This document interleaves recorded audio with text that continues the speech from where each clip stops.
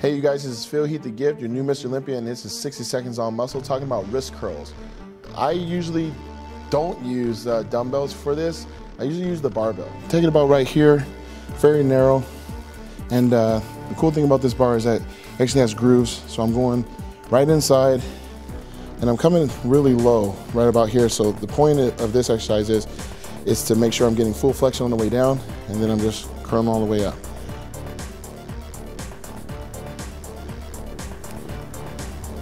And these work really good for that victory pose.